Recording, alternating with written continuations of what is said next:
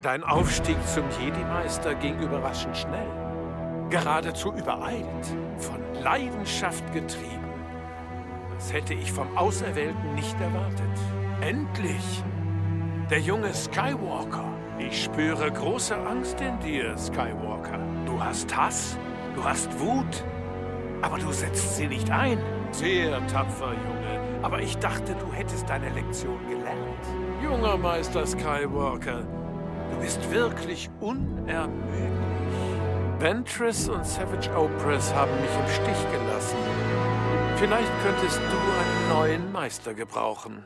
Du hast mich von Geonosis bis Tithe nicht besiegen können. Und das wird heute nicht anders sein.